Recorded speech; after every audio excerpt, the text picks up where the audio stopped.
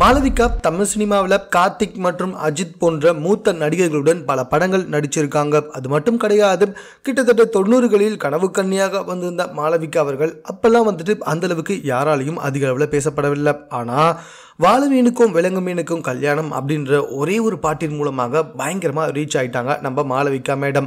ஆன்லைன்லாம் அந்த அளவுக்கு வந்துட்டு யாருக்கும் தெரியாத காலத்திலேயே இந்த பாட்டின் மூலமாக தமிழக மக்கள் பல பேரை வந்துட்டு தன் பக்கம் ஈர்த்து கொண்டாங்க அப்படின்னு சொல்லி சொல்லலாங்க. நம்மளுடைய நமிதாவுக்கு முன்னாடி மாளவிகா அப்படின்னு ரொம்ப ஷார்ட்டாக சொல்லிட்டு போயிடலாம்னா பார்த்துக்கோங்க. ஸோ இந்த மாளவிகா வந்துட்டு ஆரம்ப காலகட்டத்தில் வந்துட்டு ரொம்பவே ஷையானவங்க சில குடும்ப படங்களில் மட்டுமே நடித்தவங்க அதுக்கப்புறமா தமிழ் சினிமாவில் போக போக வெறும் கவர்ச்சிக்கு மட்டுமே பயன்படுத்தப்பட்டாங்க. இதனால் வந்துட்டு ரொம்பவே மனசுடைஞ்சு போனாங்க. அதுக்கப்புறமா இவங்களுக்கு மூன்று வருடங்களுக்கு முன்னாடி திருமணமும் ஆச்சுங்க. ஸோ இதை தொடர்ந்து இவங்களுக்கு இரண்டு குழந்தைகளும் பிறந்தாச்சு. தற்போது மாளவிகா தன்னுடைய குடும்பத்தாருடன் வந்துட்டு நிம்மதியாக வாழ்ந்து வந்துட்டு இருக்காங்க ஆனால் சமீபத்தில் மீண்டும் தமிழ் சினிமாவில் நடிக்கணும் அப்படின்ற ஆசை அவங்களுக்கு வந்திருக்குமோ என்னவோ தெரியல.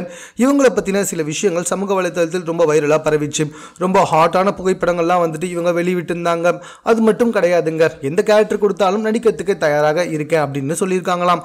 அதனால தான் தற்போது ஒரு சில படங்களில் ஏதோ ஐந்து அல்லது பத்து நிமிட காட்சிகளுக்கு மட்டுமே வந்து போயிட்டு இருக்காங்களாம் தற்போதும் இரண்டு குழந்தைகளுக்கு தாயான நாற்பது வயது ஆன நம்ம மாளவிகா அவர்கள் ரொம்பவே கவர்ச்சிகரமான ஒரு செல்ஃபி எடுத்து அந்த புகைப்படத்தை சமூக வலைத்தளத்தில் அப்லோட் பண்ணியிருக்காங்க. இந்த புகைப்படத்தை பார்த்த எல்லாருமே வந்துட்டு மாளவிகாவை திட்ட ஆரம்பிச்சிருக்காங்க. நாற்பது வயசுல எதுக்கு உங்களுக்கு இந்த வேலை? ரெண்டு குழந்தைங்களும் பிறந்தாச்சு. அவங்கள பார்த்துக்கலாமே அப்படின்ற மாதிரி எல்லாருமே வந்துட்டு இவங்கள திட்ட ஆரம்பிச்சிட்டாங்களாம்.